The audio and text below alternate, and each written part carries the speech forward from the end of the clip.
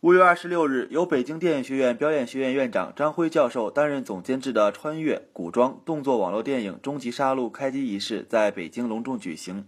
导演子君携主演赵铁刚、季宇浩、陈南飞、林轩、赵一彤等人亮相活动。该片讲述了一段历史中的江湖恩仇，通过身世离奇的美丽女主角宋飞与两个同父异母的帅气男主角之间情感纠葛及生死搏杀，鞭挞私欲极度膨胀后的。淫邪奸恶，弘扬大义大爱之下的阳光与美好，并警示人们和谐纷争，告别杀戮。我们只是想说，主题思想上，我们拍这个东西，这个故事想说的是担当、责任、承诺和守信。面对现在相对比较纷杂的这个社会呢，我们用这八个字来告诉年轻人。男人、女人，不管是谁，都有一份社会责任，然后都应该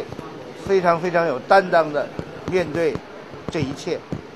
就是这样。发布会上，该片主演身着古装亮相，舞台上高手云集，但其中最受关注的焦点当属该片制片人女一号李智雪。身为舞台上唯一一位女主演，李智雪此次在剧中独挑大角，而为了饰演好宋飞这一角色，她还专门学习了武术动作。嗯，这是第一次拍，之前拍的都是时装。有，现在每天都有在跟武行那边在学习，然后希望能呈现给大家更好的一个完美的人物形象。酷六娱乐北京报道。